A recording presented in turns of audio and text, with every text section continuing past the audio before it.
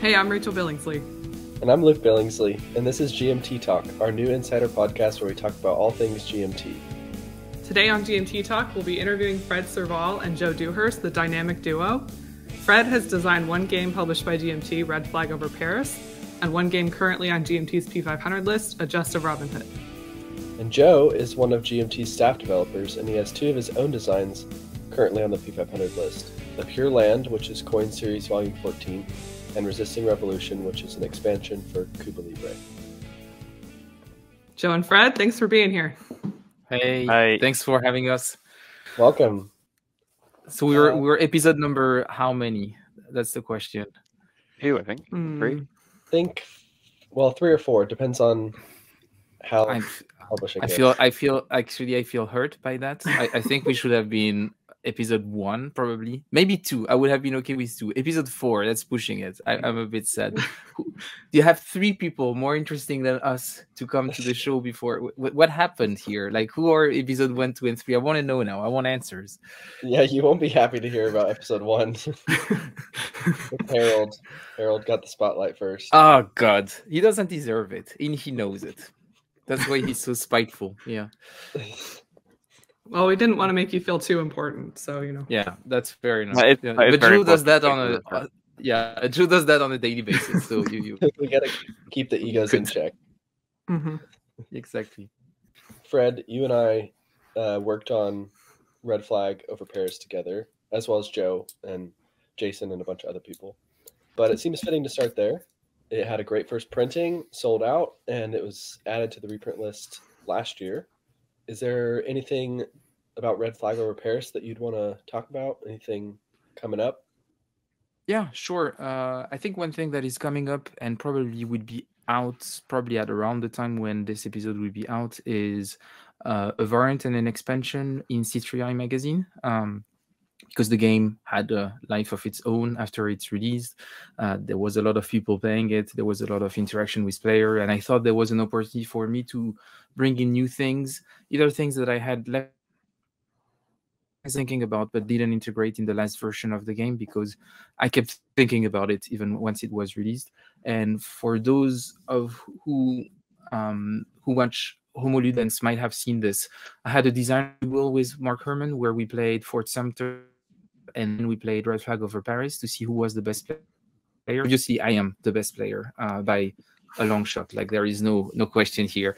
Uh, I crushed him on his own game and on my own game, so that was really fun. But uh, more importantly, at the end of the discussion, we were talking about, about that variant. So if you go back there, you would see the the beginning of the thinking of that variant. Uh, Mark and I talking about the limits of the um, uh, system, and I was thinking about a way for a while about expanding it, but I wanted to talk to Mark about it to see what was his thought because Mark is, I think, is really sharp, both as a designer, but also about the mathematical aspects of it. Um, and and there was clearly a math problem uh, around uh, how to expand a bit um, uh, the possibilities of the game while retaining the same level of complexity uh, and also reducing the amount of luck because games uh, you just have a card to see through the whole game really system like this.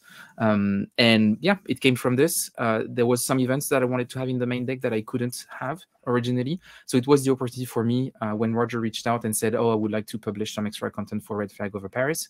Um, donald and i worked on it. Donald awesome as usual always ready to do something for fun uh, like this. Mhm. and yeah we made we made 10 extra cards uh, to expand a bit on the history of the paris commune talk about stuff that uh, weren't in the original deck.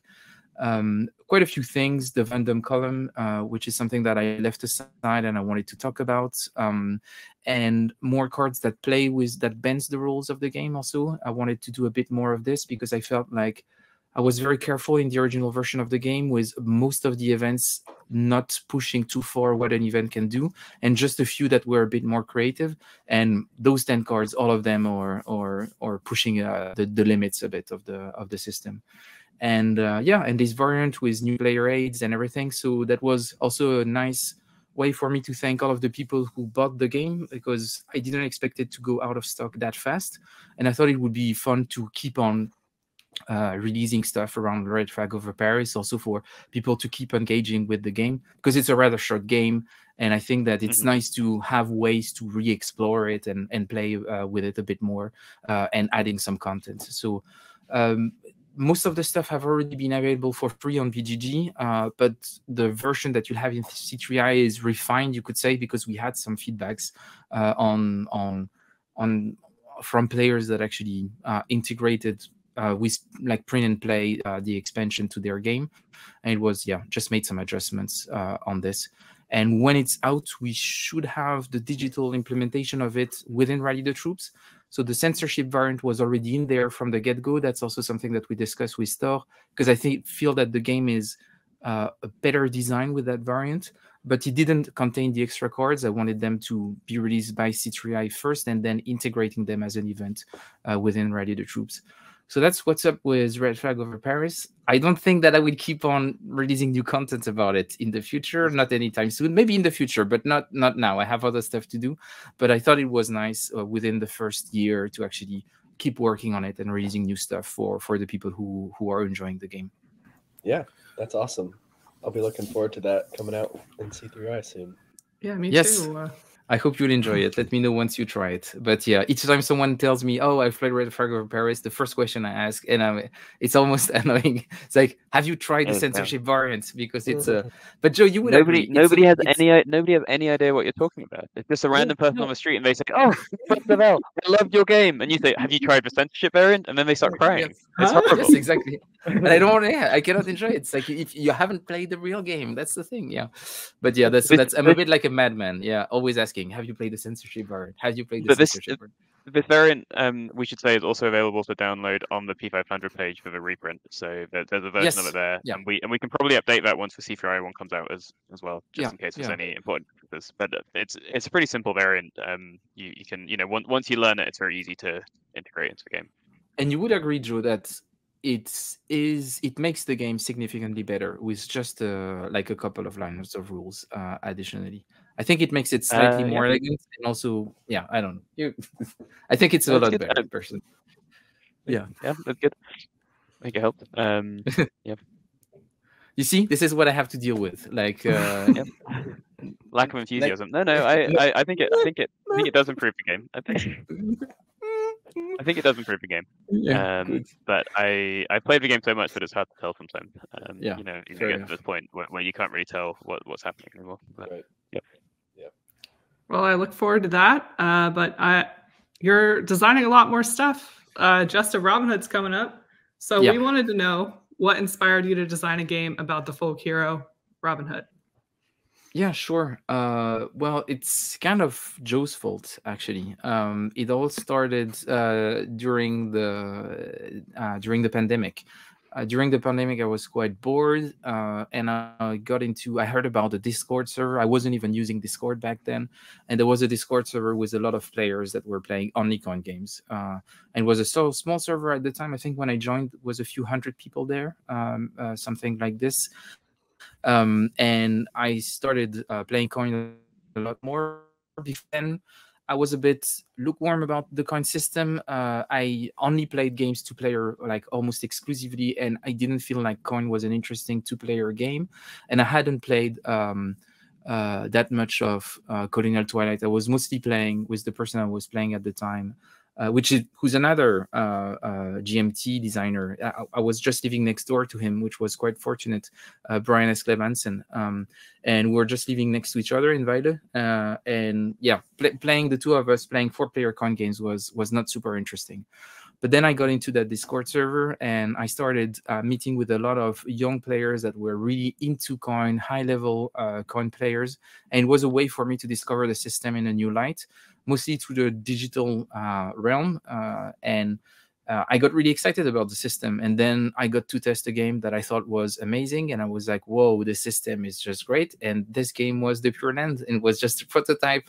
Uh, and I was really amazed. And I was, I didn't expect that um, a coin game could do this, could call about, could talk about uh, peasantry economics, uh, like having that many layers, the fact that you had two counterinsurgent fight uh, factions fighting against each other, the impact that it has on the land. Like I thought it was really making a strong and compelling point about uh, civil war, uh, and and also talking about the economical aspects of it. And I was just yeah, um, I think it was really the game that really made me realize what Coin had to offer.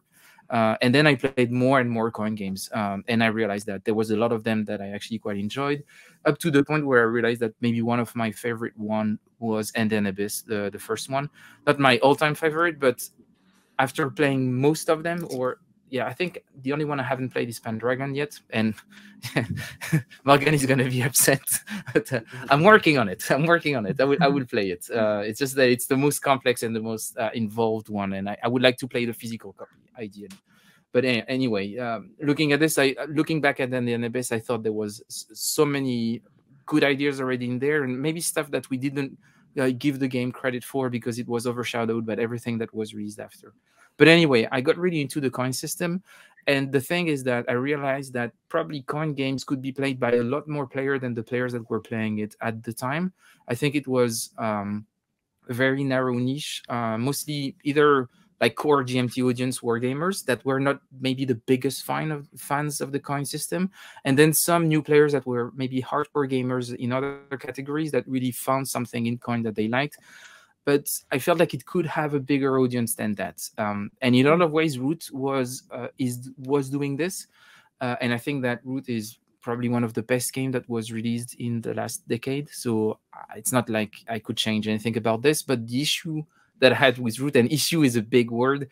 Uh, it's really a great game. It does bring the ideas or the ethos, the ethos of coin to a wider audience, but it doesn't introduce people to the coin series. Like mm. if you've played Root, you don't know how to play a coin game. You might learn that it's inspired by the coin system, that it shares a lot of ideas and everything, but it doesn't introduce to it.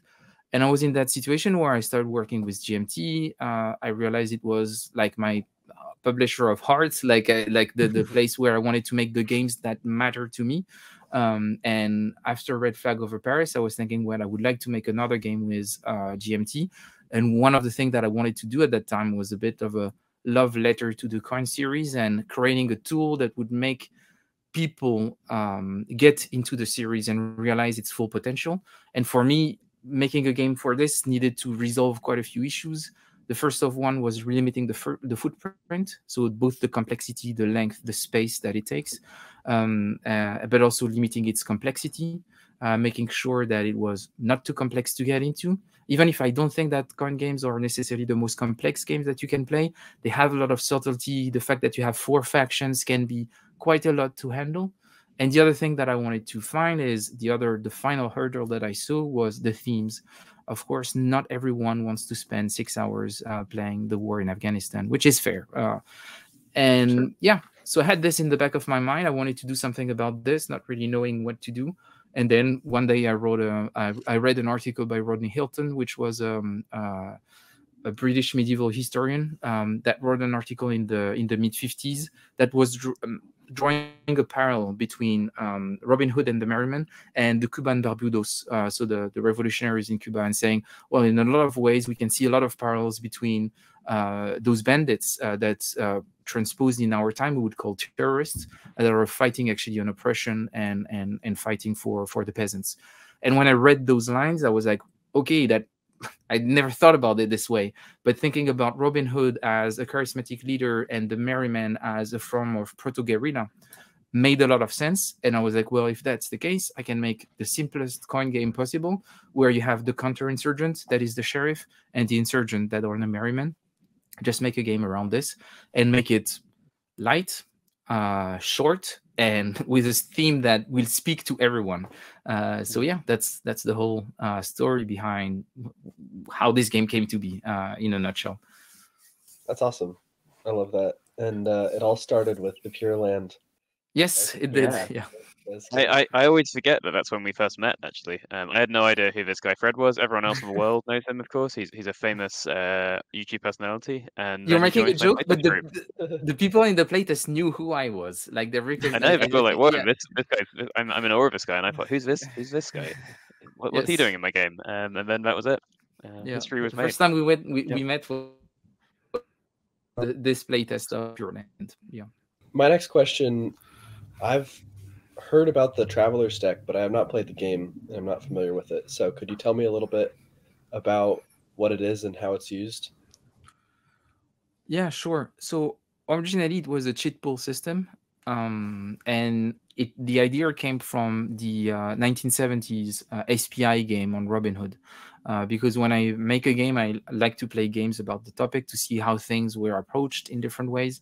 Uh, and I played a few Robin Hood game. I played the Sheriff of Nottingham, where like it's bluffing game, like almost a party game. I played that, uh, and I loved it. Uh, and I played this SPI uh, game from the 70s. And I think that's pretty much it. I know that Worthington had released the game, but it was a block game and I didn't really see the purpose of how they were approaching the topic and I decided not to play it because it, it didn't make a lot of sense with what I wanted to do.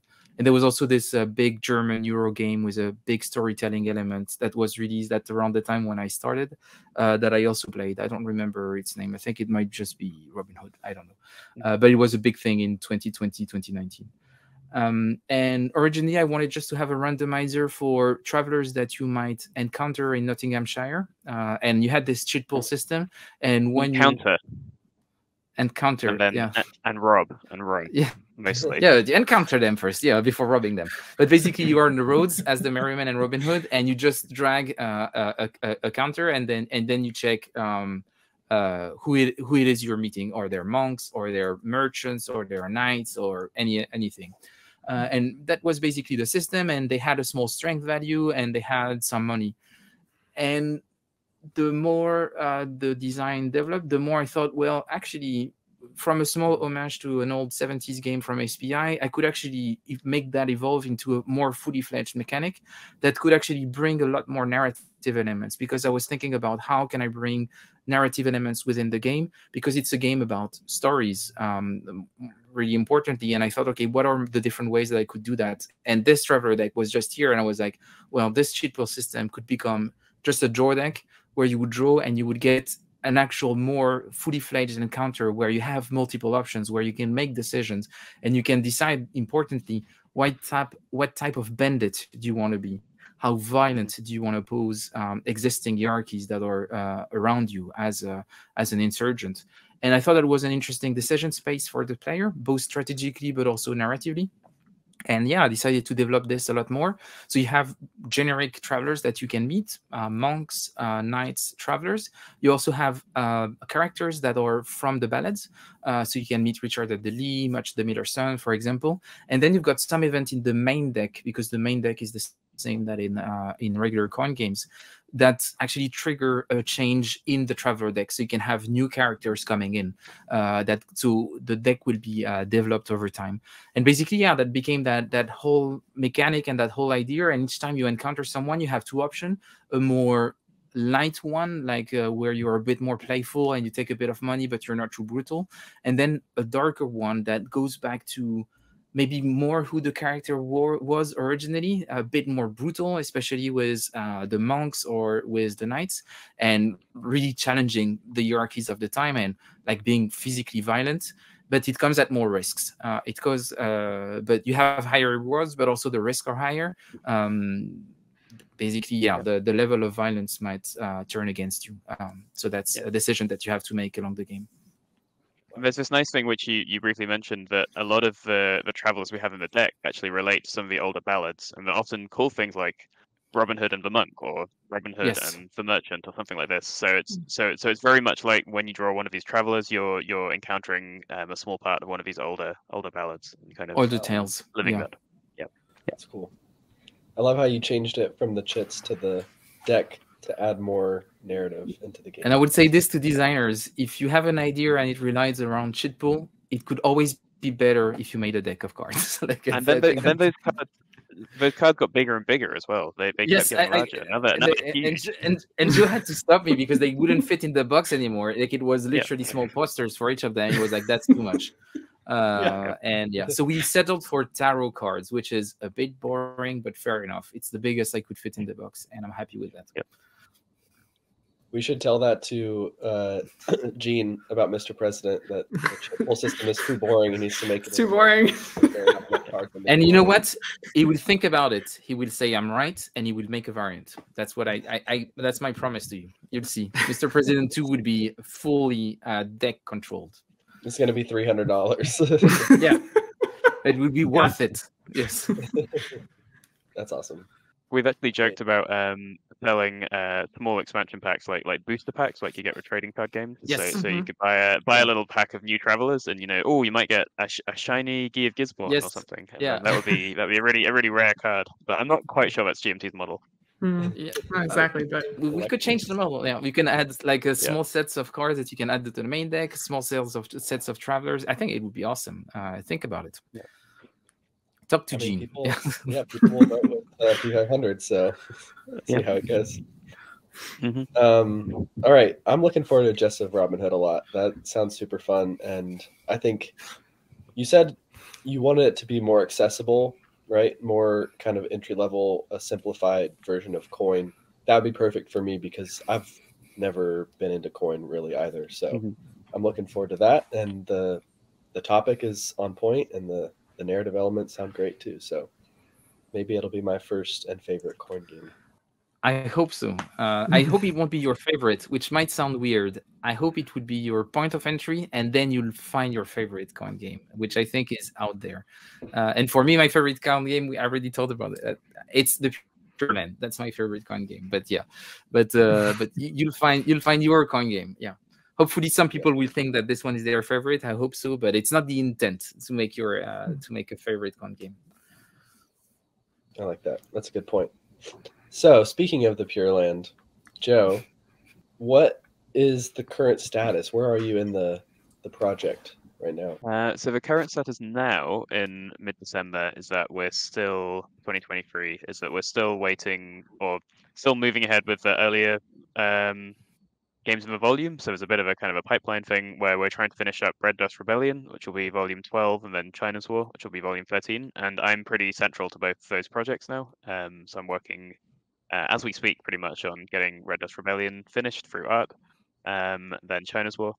Um, but then the good news with the Pure Land is it's it's it's pretty much all done as well. So that's that's ready to go as soon as we get to that point in, in the series. So it'll be a quick a quick jump. And we've actually just started looking for an artist for the map now. So that's something which will hopefully uh, start moving on soon. And I've got some very interesting ideas for the map, which uh, Fred's Fred's seen as well. So some some ideas about how to theme it around some of the kind of historical content in the game, but also the uh, Buddhist content, which is kind of in, in the name of the game, as I could, I could talk about it.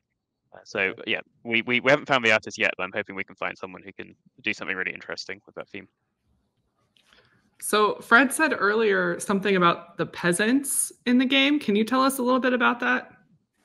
Yeah, so that that was a very from an early point in my thinking about the design. That was something I really wanted to emphasize. Um, and basically, that's that there are these these peasants all across the map. This is a, a civil war in um, 15th century Japan, um, and these peasants are going to be uh, used by all the other factions. So they're they're kind of like a resource, like you might have a um, you know just just a value in a province which you can harvest in, in other games.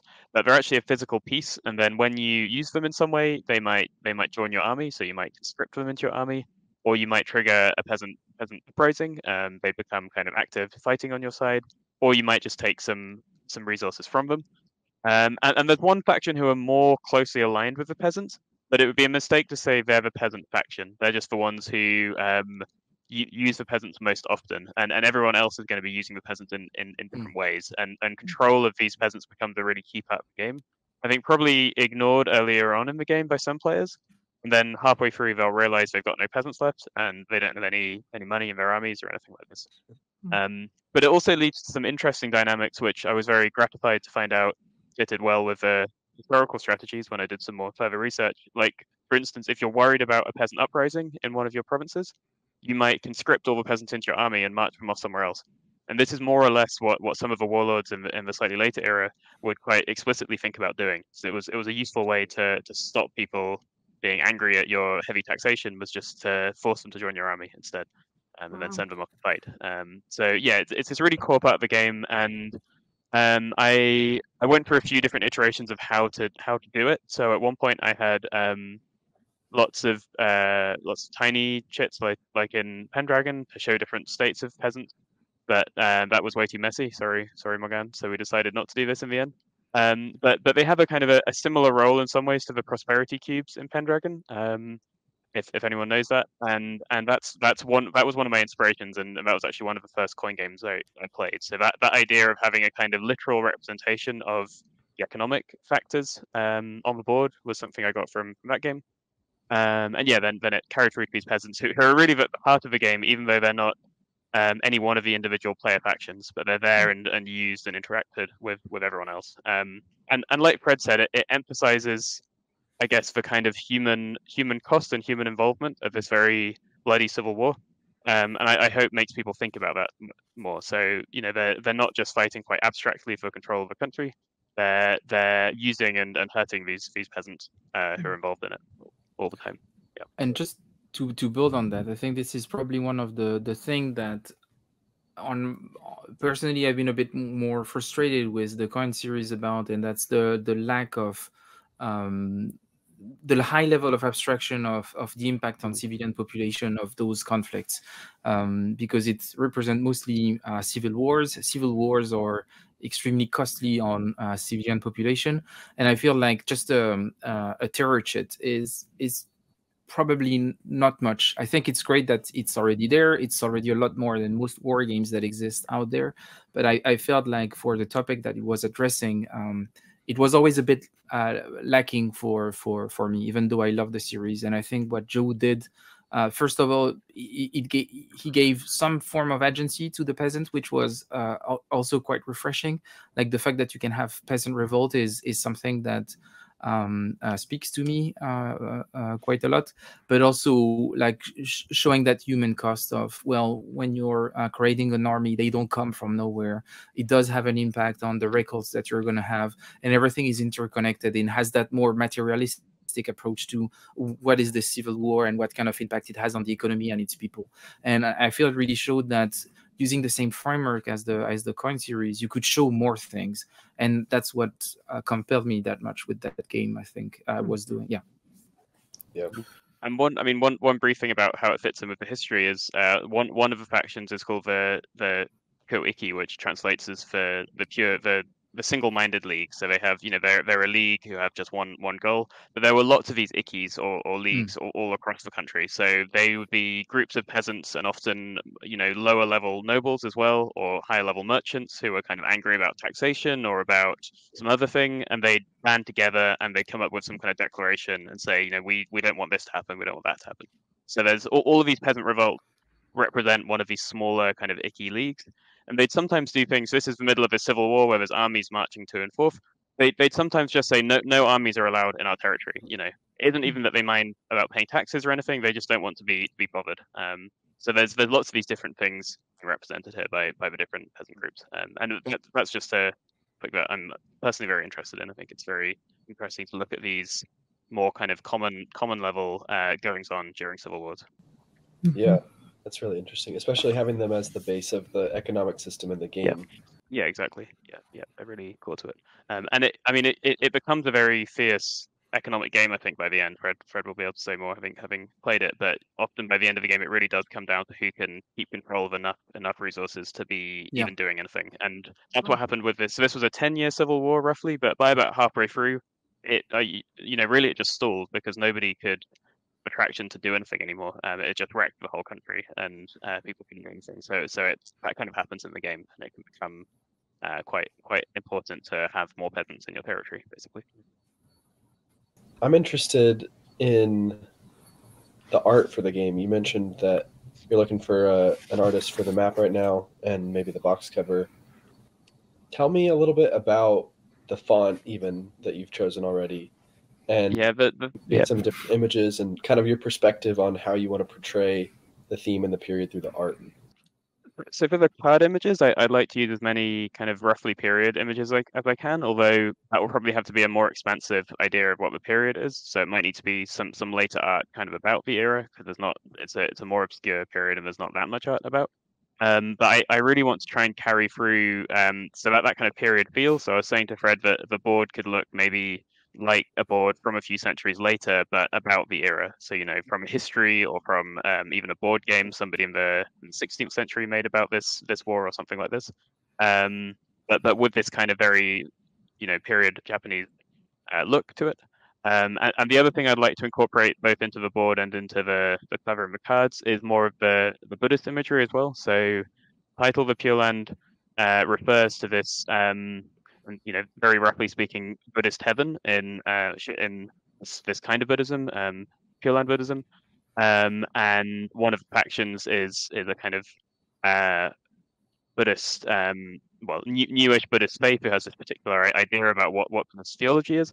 Um, so there's and there's there's almost a pun there where it's about the Pure Land, but really there's this really horrible war going on, on on Earth. But there's this kind of other realm that people might might strive for, and there's lots of interesting imagery about this, which I think it would be interesting to include, you know, around the board or around the cards or on, on the cover somehow as well. Um, that that's what I have kind of in mind for that, and I've done a bit of research into what what that might look like. Um, the the font I'm using uh, is an interesting one because I was looking for a font which would convey some of the setting, um, but not in a kind of a crass way. So there's sometimes these quite crude Orientalist ideas, you know, like like the chopstick font or something of what uh, Chinese or Japanese font might be. Um, and I found this font uh, called the Hasegawa font, which is actually from the 19th century, and it's a 19th century um, printing typeface. So you know, for old ink printers.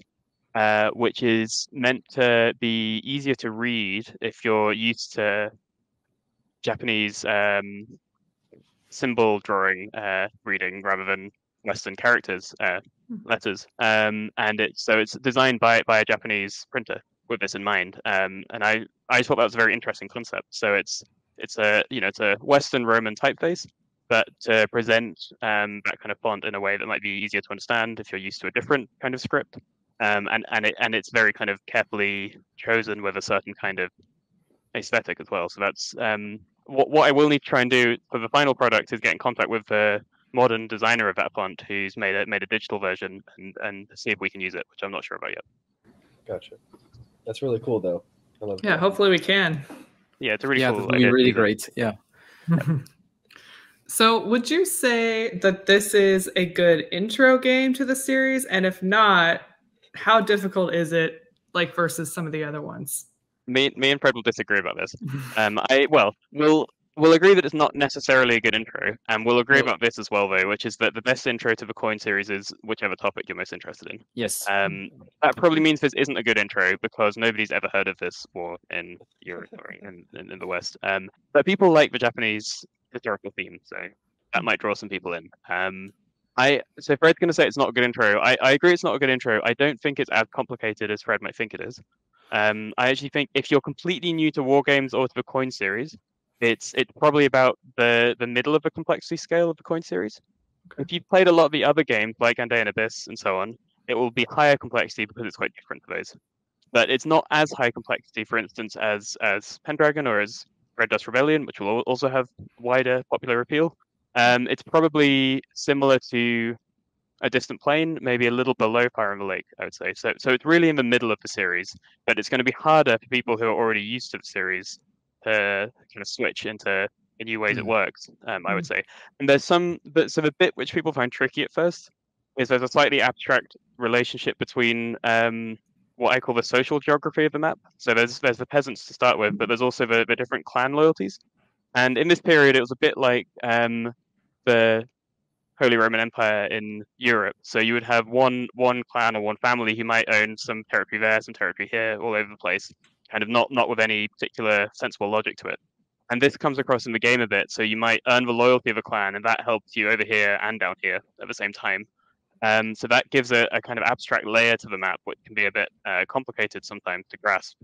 Um, but once once that clicks, I think it's very easy, and that's probably the most complex part of it.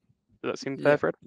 Yeah, I think it's fair. So I agree that the level of complexity of the game is probably in the middle high range. I don't think it's as complex as Fire in the Lake. Uh, and I think that's fair. And Fire in the Lake can be your intro into the coin series if you are a big fan or very interested uh, in the um, in the Vietnam War. So I, I think that's that's fair. I I do believe that the the So there is different types of complexity in games, and I think the spatial complexity of this game is actually quite high because of what Joe was talking about. The fact that you can control, but the loyalty is different. That you have to map the loyalty on the loyalty track and make it make sense on the board itself is actually like there is a lot uh, to it that you have to think about uh, beyond just knowing what your faction does, what the other faction does, what are the faction dynamics between them, which is the classical coin game. You also have that spatial complexity that is um, on top of something that is already quite complex. So I would say definitely not the easiest game in the series. There is this part of some people or and I and I've seen different people playing the game. Some people click really fast with that loyalty system, and that's fine for them. I think some people are really gonna be challenged by that because different brains react in different ways to different types of complexity. Some people are like really great with mathematical problems, but then as soon as it's a bit more spatial, it becomes more complex to them. And we all um, integrate complexity in different ways. And I think for in that regard, the Pure Land has more layers of different types of complexity to them, mm-hmm. which makes it quite unique in terms of complexity. So that's why I would say it's probably not the best way to get into the coin system. Also because it's somewhat different from most of the other coin games. Like as Joe was saying, if you're used to other coin games, it might be a bit challenging to get into this one because you have to break a bit of a few of your habits. Um, so yeah, maybe not the best. Um, maybe not the best entry point, but to that point, I still for me it's still the best one. Like i think the that that layer of complexity is adding so much to the story. Like it's it's it's saying so much about the event that i find it fascinating. Um, and I, I, really like the analogy with the um, uh, the holy roman empire. It shows the the the spatial complexity politics.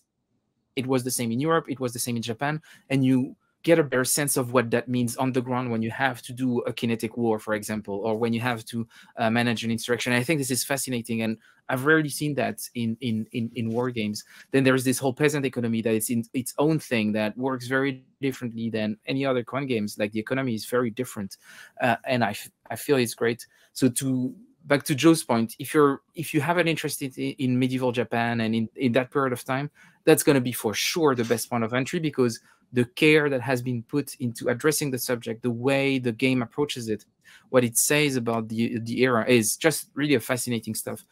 I was interested in Japan. I didn't knew that period, and I learned so much just through the process of seeing Joe design it, um, uh, helping I, as I could during the the some parts of the development. I learned a lot. I read some stuff, and it was really a fascinating way to explore that part of history. But yeah, I, I think it's not the easiest way to get in. I think we have to be to be fair about that. Yeah. One one final thing I do want to say is that I, I think sometimes the complexity of the coin series as a whole is is really overstated. Um, so you know they're not simple games, but they're not like if you're comfortable if, if you're new to war games and comfortable playing heavy Euro games and like happy to give it a try, um, it, it isn't it isn't that difficult. Um, so so this so if, if you're not even interested in getting into a series particularly, but there's one topic that interests you, um, this is going to be you'll you know there's there's some new concepts you'll need to know to learn, um, but they're, they're not really that difficult. And this is the same for people who are maybe used to really heavy hex and counter games, um, and then bounce off coin. It's there's new stuff you need to learn, but I I don't think it's as complicated as people sometimes say it is. I guess I'd say. Yeah, but I think it's it really depends on your perspective. If we talk about complexity. I agree with Joe that there is a lot of people who play heavy Euros and they don't realize how much they could get into coin games or 18xx game without with, with a lot less challenge than what they expect. Their, their their their brain has been trained to do this. Like they know how to do those things. It's just a bit different, but actually they would manage a lot better than what they expect.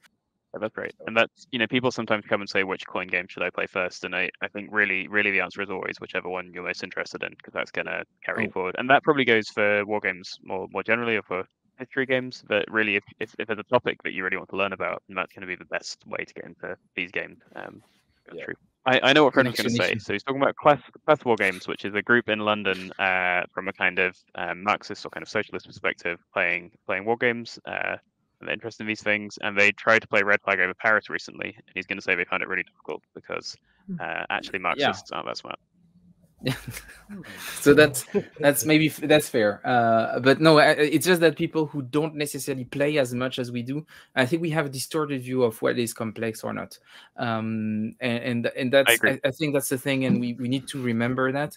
Like we get into some games and we're like oh that's not that complex like because we've played more complex game or just because we've played so many games that are quite of similar that we yes. almost instinctively uh, figure out the rules um, when we get to play a, a, new coin game or a new war game. And when you have I mean, this is... teach someone from scratch how a CDG works, which is yes. like you've played Twilight Struggle, you go into Red Flag over Paris, it's like poof, like you don't even have to yeah. think too much about it. You're just thinking about the small variants. When you've never played a card driven game and you have to explain, so this is ups and this is the event and this event has a color and it, depending on the color you can play it or not it's like and you are like what this is insane like and and you have to get there it's like for a lot of people that's already a lot of information like when you play like twilight struggle for the first time you're like like your brain explodes. I'm, never I'm, I'm still like that anytime. That. Every time I play Twilight Struggle, that's my brain. But this, this is why I was very careful. This is why I was very careful to say it's not that complex insofar as somebody who's used to heavy heavy Euro games might might be yeah. able to quite easily pick it up. Um, I, I just think people people get kind of scared off these things, and they're not they're not they're not that complex. So, um, yeah. But yes, certainly if you've only played later games or you're you know only played more traditional card games, then it's going to be harder to learn any of your games. That's, that's certainly true. Definitely. But both of your games that we've already talked about um, are topics and themes that I find interesting, and probably a lot of people would find interesting. Robin Hood and Japanese historical themes, like you were saying. So that's good news for both of them. Yeah. So let's move on to your other game that you're working on, Joe, uh, Resisting Revolution. So it's an expansion to Cuba Libre. Why after all these years, return to Cuba Libre? so it's it's an interesting question, and it um will actually go back to something else me and Fred did when we first uh, know each other. Um, and this this really started. This whole project really started with me just enjoying tinkering with games, and this is even before I started working as a game developer or started really designing my own games much. Um, and you know, even going back 20 years to when I was much younger, I, have always enjoyed tinkering with games. Um, you know, taking a game and making it different. Um, I even used to look at some game like adverts in magazines and try to work out how to make the game work because you know I couldn't afford to get it, so I just I just make the rules up myself. Um, and then coming to things like Cuba Libre, when I started playing the Coin series, I just began tinkering again and coming up with little mini games using the components um, and this kind of stuff. And one of these I started working on with a good friend of uh, ours, Sean O'Keefe. Um, and we together over quite a short period, um, maybe you know two one or two weeks came up with this mini game about the the Bay of Pigs invasion in Cuba using uh, some of the components but with some some new cards. Um, and we we we worked on that together. And that that mini game, which is included in the expansion, actually, um, prompted uh, me and Fred and Sean to run this um, Consim game jam back in 2020 um, together, 2021. Yeah, yeah, something like this um, which was to get other people in making these games. And one of the winners of that game is on the shelf behind me, Vijayanagara, um, which started kind of as a hack of uh, Gandhi, so so using the map of India and some of the pieces and moving them around. Um, so that's really how I got into working on Cuba Libre to answer your question in, in a roundabout way.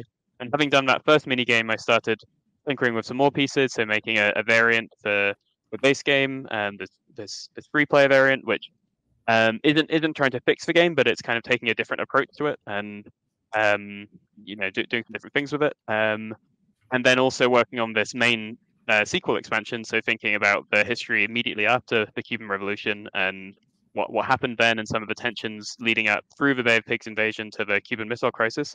Just looking at this kind of really critical period in the history of the kind of new Cuban state. Um, and yeah, just just like some ideas there. So so really, um, it's not so it's not um, you know it's not an accident that it's Cuba Libre because that's a game in a period of history I was particularly interested in.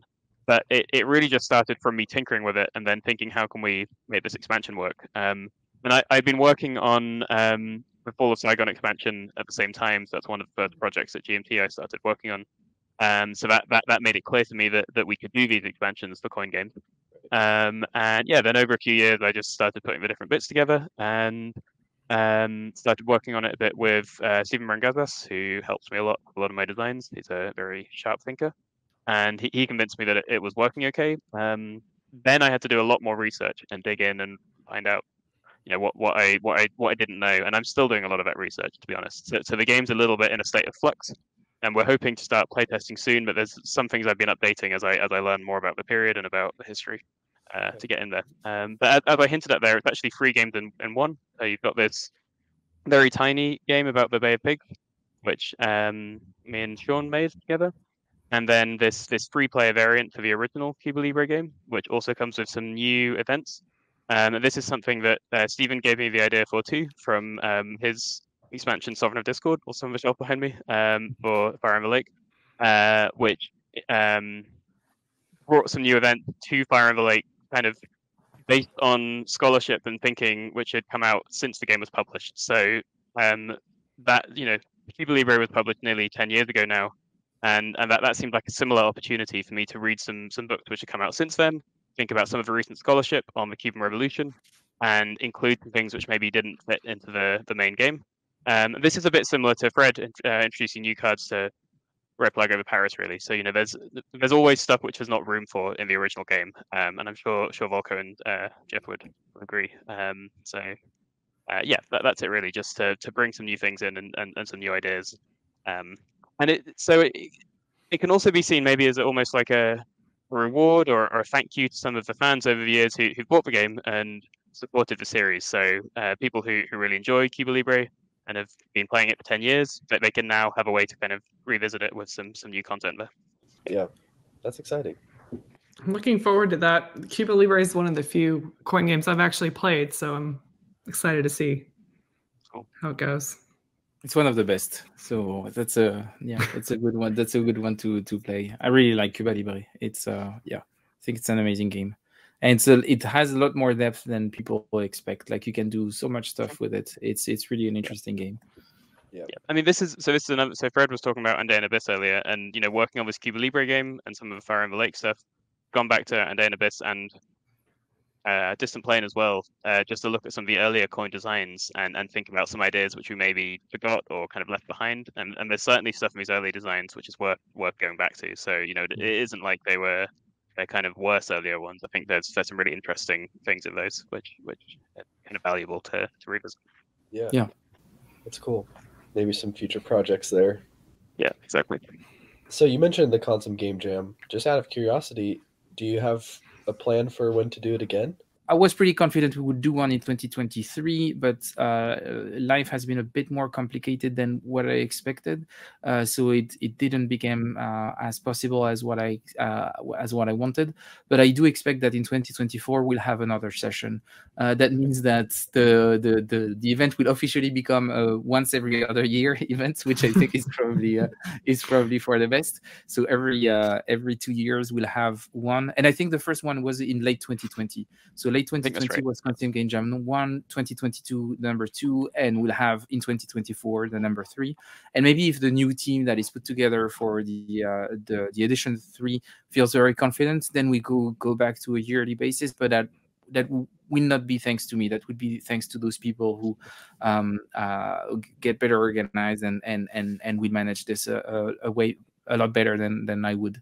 Uh, but yeah, the idea of the Consim Game Jam was really to get um, more people into game design um, in a different fashion than what an event like the Zenobia Awards uh, is doing. I think what Zenobia is doing is is quite amazing work. They're really thinking about the type of people that we're getting into game design, which I think is a a, a great uh, idea.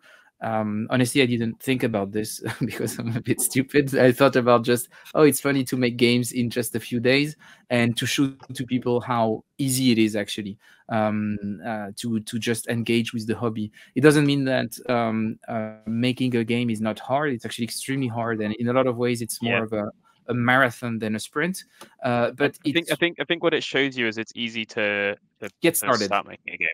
To, yeah. you know, start game. If you have some ideas, you can just spend 24 hours putting the ideas down, testing them a bit, going on. But then once you have an idea which is working, as as we all know, it's going to take months more, years more mm. to actually get it finished and, and published and everything. But I think this first stage is what pe- will, yep. what people are blocked by. They think they are not creative. They think they cannot do it. Yep. They think it's it's beyond what they could be able to. And I don't think that's true. I really believe that as long as you play uh, historical games and you engage with them seriously and you really understand how they work once you play them, there is nothing that stops you from starting designing ones. And I think a lot of people have a lot of different and interesting stories to tell. And just showing to people, well, the step is not that high. You can get there.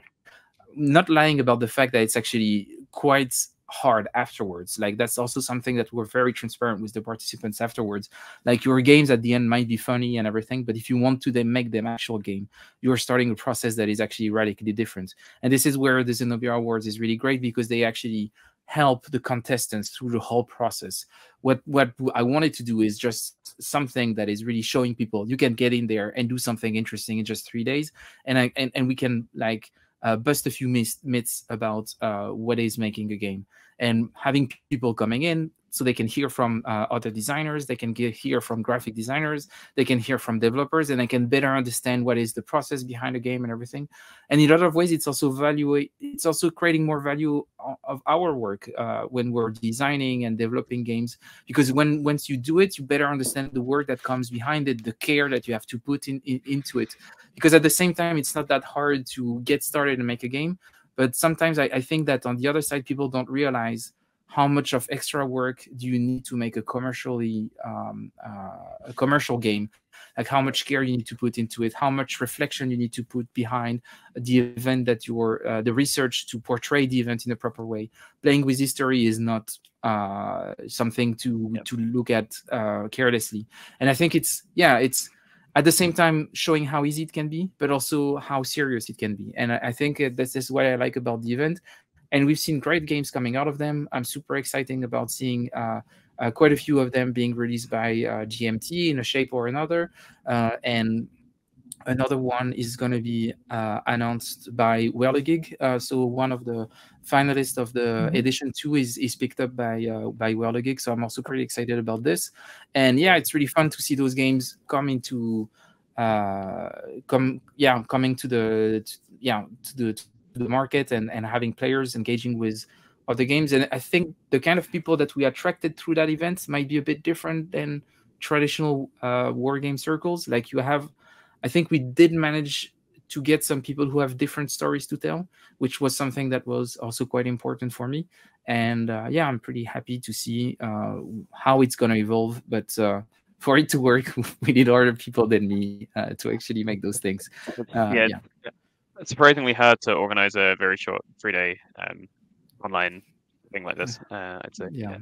Yeah. But he- hearing you say all that, Fred, I think really what we should say about this is what it shows you is it's easy to design a game, but it's hard to develop a game, and all the hard yes. really is done by the developers. Yeah, and and, and you're you're you're saying this as a trap, or or, or uh, but I agree. I've always agreed. I think that, yeah, there is some truth to it, and I think that a, a lot of people underestimate this. And I would say I don't want to be mean to anyone. I'm not going to say any, any name, but I also think that some publishers don't realize that, and that's one of the problems. And one of the things that I like about GMT that GMT realizes that having the ideas is one thing, and that's great, but the hard work is actually developing those ideas into mm-hmm. good games, and this is where a lot of the work is happening. Like you cannot just uh, uh, come up with a great idea, like making a coin game about Robin Hood. Cool, that's a cool idea.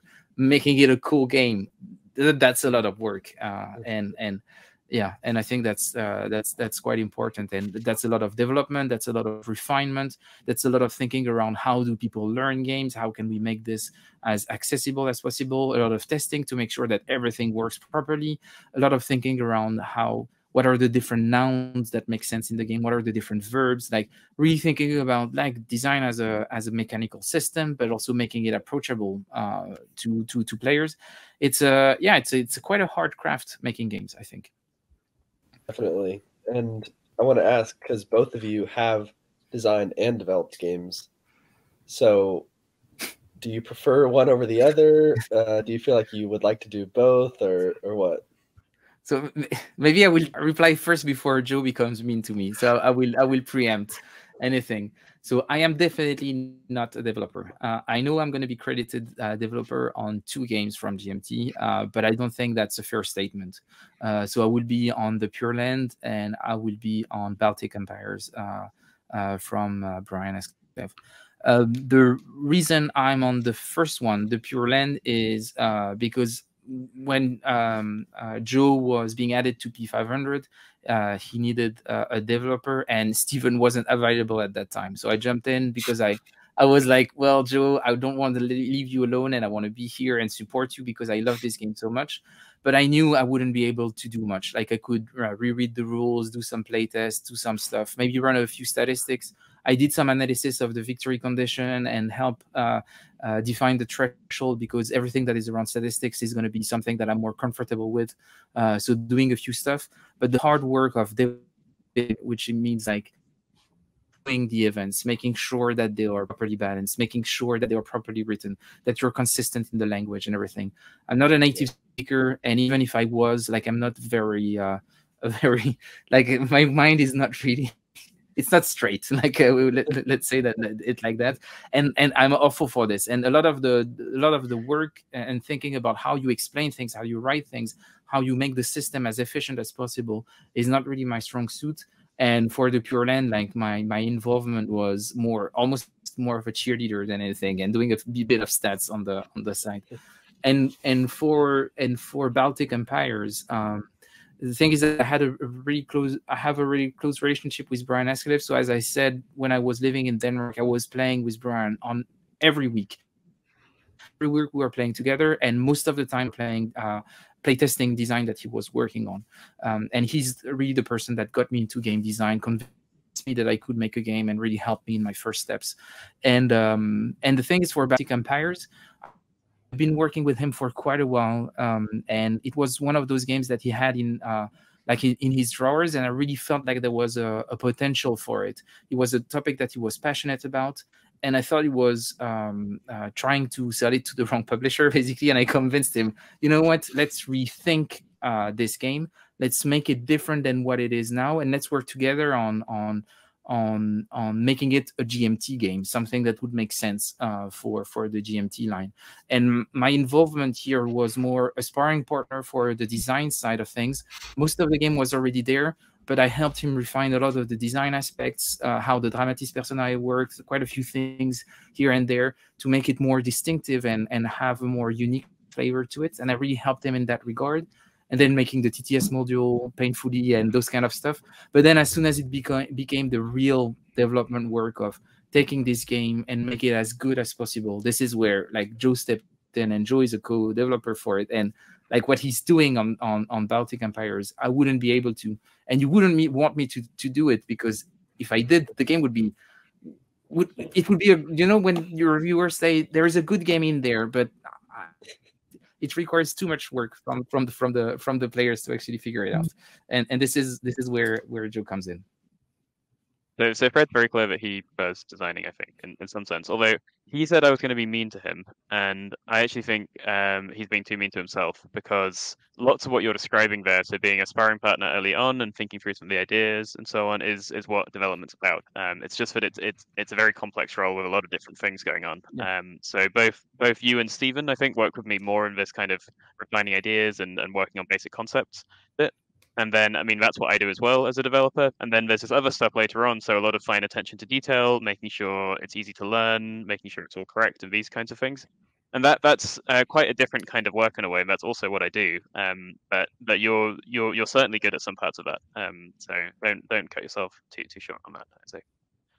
Um, but you know, in terms of what I prefer doing, I there's there's a sense in which I do prefer developing. Um, but I think it's it's almost for slightly uh, cowardly reasons or kind of lack of confidence reasons that it's it's it's a lot safer to be working on someone else's games and and, you feel a lot less vulnerable um, but at the same time I, I also really enjoy just the the craft of making things easy to understand and easy to learn and and, and read well and just just work properly um, that's something I realized in my old work so I used to be um, an academic, and I, I realized at some point that I really enjoyed working with other people when I was working on a project because I could um, make it work well, and I didn't necessarily enjoy so much coming up with the the, the new idea in the first place.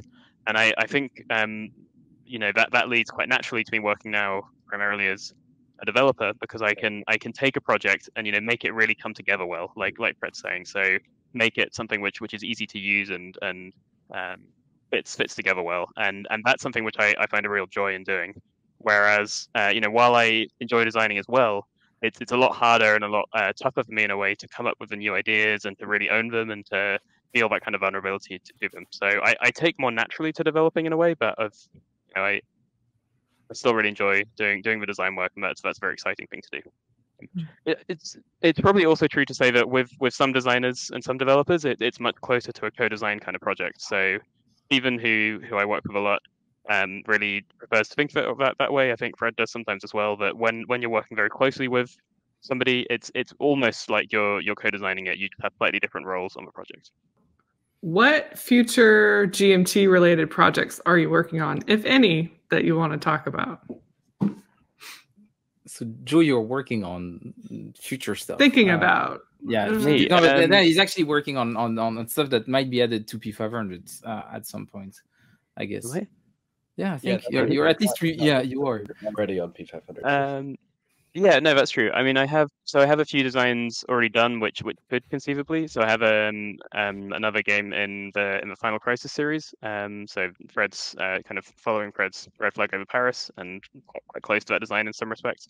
But it's about an even more obscure event. Um, it's actually about an event which is took place exactly 50 years after the Paris Commune, Hmm. and uh, some of the imagery around it called back to the Paris Commune. So it was um, a revolt on Kronstadt naval base outside St. Petersburg during the Russian Revolution, um, where a group of um, maybe anarchists and other kind of anti-Bolshevik um, figures um, rebelled against the the Bolsheviks. They they'd previously been allied with the Bolsheviks.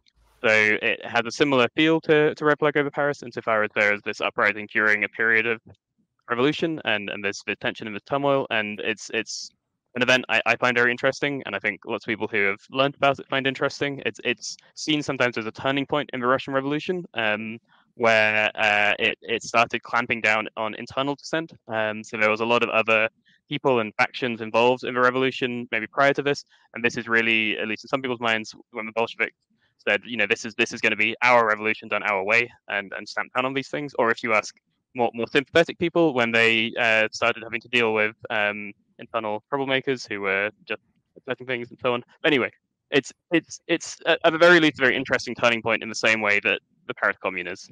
Um, so yeah. that's that's something which I've worked on, and that's kind of a fully fleshed out design. There's a question mark about how how well a game like that would do on the market. I think, but that that's something mm. I've I've finished working on. Um, I'm very interested in doing some designs about uh, other kinds of social unrest. So, kind of going back to the my interest in these in these peasant uprisings, but looking at things like um, 19th and 20th uh, century workers' movements, so so strikes and things like this. And I've done some research into the um, miners' strikes in the UK in the 1980s. That's something I'm very interested in. But again, quite um, a, a kind of tricky topic to to to a wider audience, I think. So I have a tendency, Fred does too, to pick some quite obscure topics when we're designing. Um, I'd say. Um, probably probably Robin Hood was a rare exception for Fred. Hmm. Um, are there other designs I've, I've worked on, Fred? I'm forgetting. No, I, I think that's pretty much it. Uh, um, oh, I have a half baked I have a half baked coin design on the um, Scottish War of Independence. So, um, yeah, William yeah, Wallace, this, all, all, that kind of yeah, stuff. But, this uh, yeah. this one has been a while. Yeah, and I think it uh, might fit better uh, uh Levy and campaign. Uh, oh no, and I have a Levy and campaign design. Yes. Now it's all coming out. Um, yeah, I yeah. do have another half-baked Levy and campaign design on the wars of Oda Nobunaga uh, at the end of the uh, kind of warring states period in Japan. And that design, um, which I, I, would like to do at some point, would really bookend the Pure Land. So it's a different system, but another system designed by Dr. Ruhnke.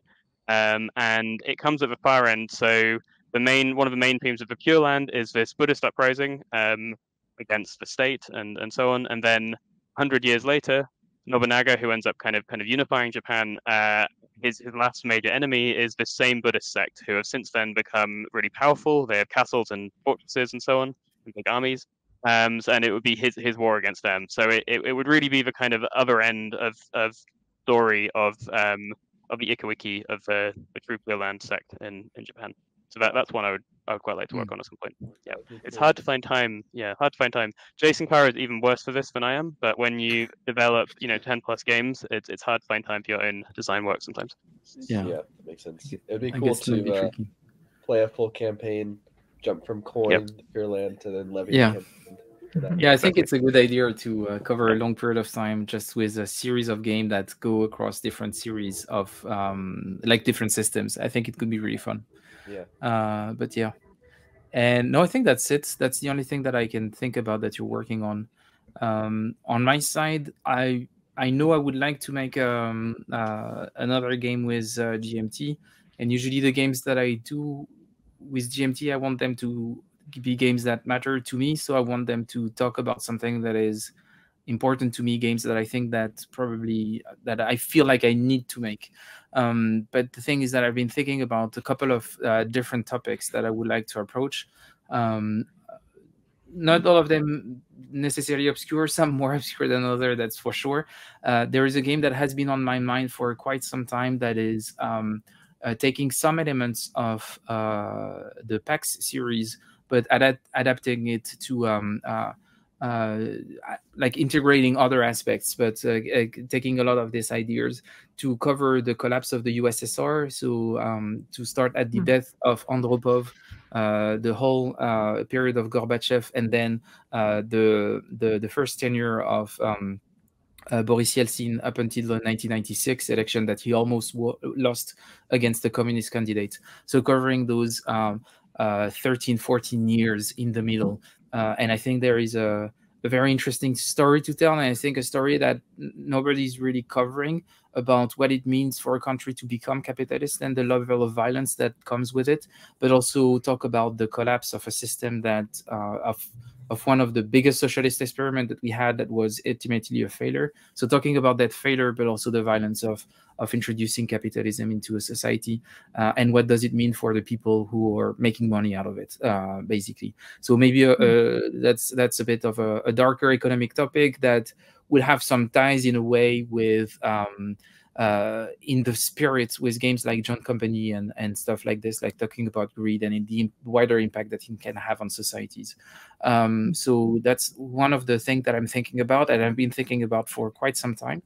Um, then there is I would like to explore a bit more of French colonial history, uh, and I've been thinking about this, and I don't really know necessarily how I want to make it, and I don't think it would be a coin game, but uh, there is two topics that I would like to think about. Uh, one of them is uh, the war in Algeria, but if I do something about the war in Algeria, I would like to focus on specific aspects of the conflict, uh, and there is two aspects that I'm really interested in. One is the Battle of Algiers, which I think is um, just a fascinating topic because of the movie, because of uh, uh, urban insurgency, and also to depict um, the um, the uh, the culture of torture that was within the French military and how they used it.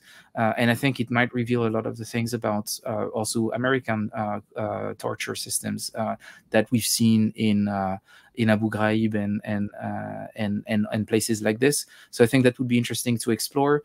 And then the other aspect of um, of the um, war in Algeria that I'm interested in is the diplomatic uh, side of it.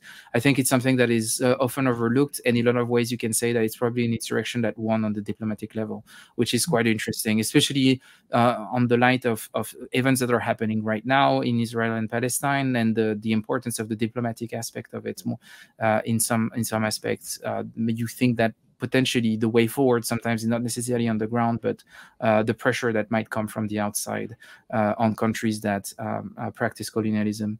So I think there is this. And then um, there is another topic that is even closer to me because I have family ties with it, and that's uh, the war in Indochina.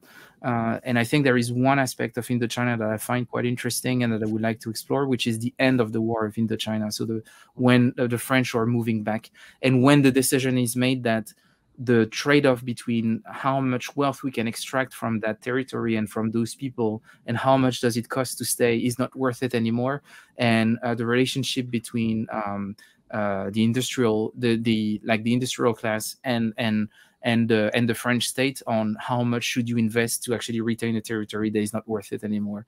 Um, mm. And I already have an idea for a title that is based on a on a French book which is called Une sortie honorable, which talk, talks about it. So an honorable exit. Uh, and I think that would be a, an interesting topic. But yeah, I don't know what could be the system of it. I was thinking about um, uh, having a CDG kind of system, and I was potentially thinking about maybe uh, using some of like making something in the series of small struggle uh, games but it's very I'm very unsure about all of this. So those are the the few things that I'm thinking about. Oh, and there is one other thing that I'm thinking about that is more funny, and because it's funny, it might be the one that I'm doing next. I think around 10 years ago, um, uh, around 10 years ago, Nuts Publishing released a small um, uh, uh, um, oh, yeah. Ziploc game uh, called Les Guerres Picrocholines, the Picrocholine Wars, which was a medieval war game uh, set in the universe of Pantagruel et Gargantua et Pantagruel, so uh, a, a, famous medieval novel from uh, Rabelais that was uh, quite important. And they made this hex encounter about a war that happens in the book called Les Guerres Picrocholines, which is quite humoristic, uh, a bit crazy. There are giant a lot of uh, wine drinking and a lot of like the the war is is a stupid war uh, fought over some vineyards and something like this. And uh, i like this hex encounter game because it's it's talking about a topic that is uh, a bit unusual. And in a lot of ways like uh, horror movies today are talking about our society in a different way. The, the the the book by rabelais was talking about french society of the time in a humoristic way using metaphors and stuff like this. And i think it's quite interesting because in a lot of ways it, it is talking about history and, and, and this and i thought what would be funny was would be to use those elements to make a, a very introductory game into the Levy and campaign system, um, mm. which I thought could be really funny. So once again, using some literary work to introduce people to a, a very famous uh, GMT series, which might become my trademark or something like this. I think it could be fun. But I think there is definitely something funny to do about this. The problem is that I'm not sure how commercially viable it is. Hmm. Um. And uh, and yeah, I, I don't know, but I think it would be just fun to do. Um, but uh, yeah, so those are the few ideas that I'm uh, like tinkering uh, with in my mind. Some of them already have some concepts and some writing and some research behind them. Others are just ideas that I'm thinking about, and it's really hard for me to know what should be the next one. But yeah, I definitely want to do more games with GMT. I want to do more games about um, different aspects of history that we don't necessarily think about, and uh, and yeah, but uh, I don't know. And I guess that Joe will help me figure out what I should do. And uh, yeah. well, this is there's a, there's a common theme with some of our ideas for what we want to work on, which is that they're so obscure that they might not be and yes. I think I think there's a bit of a tension here because both of us like to explore these these more unusual topics, and I think that's like an important and interesting thing to do. But it can be hard sometimes to work out how to bring those to people. Um, but I have the answer, which is that you just need to become an even more famous uh, internet sensation, Fred. Um, then just just your face on the box will will will sell the game, and, and yeah. that's what we'll need to do. Is we'll need to start putting you know, as, as seen, seen on, on, YouTube. On yeah. yeah, exactly. seen on YouTube. Yeah, yeah, that would be uh, that would be nice. Uh, yeah, but I don't know. In a way, you know, when I when I pitched uh, Red Flag over Paris to GMT, like it was really obscure. I didn't think that GMT would be interested. And one thing, GMT got interested, and the second thing is that people ended up buying the game. So you know, it's also a matter of um, uh, making the story interesting to people. I think. Uh, and in that regard i guess that the gmt audience is pretty open to those things to those unexpected topics and everything. And of course those are not going to be the big uh like the big uh, you're going to have not not great printing numbers. You're not going to make the biggest gmt games with those kind of topics. But it's cool to see that gmt is actually um uh first of all open to those topics but also that they that uh, as a company gmt manages to make those uh, topics appealing to uh, to audiences that might not know much about uh, through inside gmt through making videos but also also making sure that the, the games come with content that make the the, the topic um, um, more accessible with playbooks and and and historical notes behind the cards and everything. So i think there is still opportunities maybe some of them might be too obscure and fair enough but i think like uh, some stuff about the war in algeria or the war in Indochina is definitely is definitely manageable. Yeah. Those all sound really interesting. I'm looking forward to seeing those in the future maybe and uh, we're almost out of time but before we let you go we have a couple more questions. All right so the first one do you each have a favorite game that's by another gmt designer? And you can say each other if you want well, Fred, Fred's already said that, that, my game is his favorite. So, okay. yeah. so you're done. I, said, I, I, said, it was my favorite coin game. Oh, um, yes, that's true. I don't know what's my favorite GMT game overall. Uh, well, I'm gonna I'm gonna add another rule for myself as well that it can't be a game I've developed. No, it cannot be a game you developed. That's almost that's almost a co-design kind of. It needs to be so. released uh, that you haven't and that you haven't developed and or designed. Yep. yep. Uh, yep. So adding rules to the rules. Uh, what is the? Wait a minute. I'm I'm gonna look at the game that I play the most. Uh, give me a second. I'm I'm gonna have a a, a small look at Board Game Geek here. Uh, I'm gonna look at my profiles. Um, the thing is that Rally the Troops uh, skewed those results quite significantly. Yep. Because I think mm. if I hmm. look at Rally the Troops, probably the game that I play the most will either be um, Time of Crisis or uh, Time of Crisis or um, or Andean Abyss. So I'm not sure that might be. Uh, well, yeah.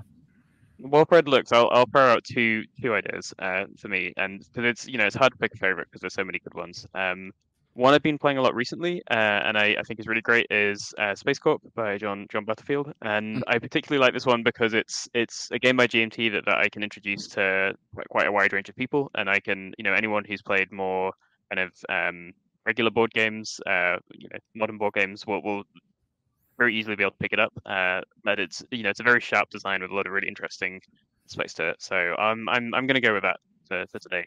Um, yeah, yep. and I would yep. say that um, surprisingly, the game that I played the most that is actually not on Rally the Troops, and that is a game that my partner is obsessed by, that I love, and I think it's one of the most unusual but one of the best GMT games. It's actually Battle Line, and and, hmm.